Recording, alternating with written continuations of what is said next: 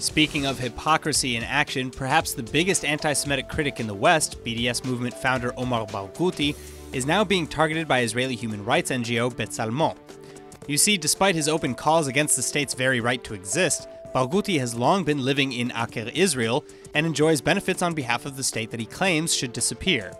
And so B'Tsalmo now seeks to rectify that by calling on Attorney General Mandelblit and Interior Minister Aryeh Deri to cancel Barghouti's residency permit. The call has come just two weeks after Barghouti was actually refused entry into the United States for his part in founding and perpetuating the international boycott movement against Israel.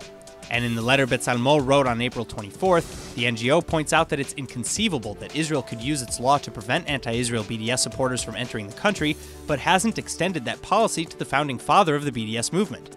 In part, the NGO's statement reads that a recent law authorizes the Interior Minister, with the approval of the Attorney General, to revoke residency for anyone who harms state security or violates allegiance to the state or endangers public peace.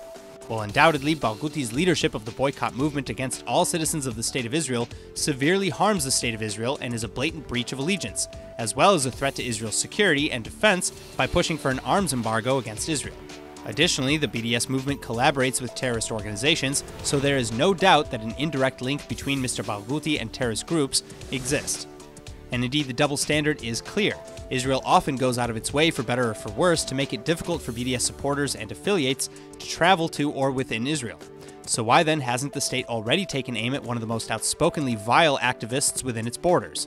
Especially as, according to Camera and the Canary Mission, Omar Barghouti's rap sheet has long consisted of materially and politically supporting terrorists, calling for violence, promoting anti Semitic conspiracies, calling for the eradication of the Jewish state and the harassment of its supporters, and much, much more.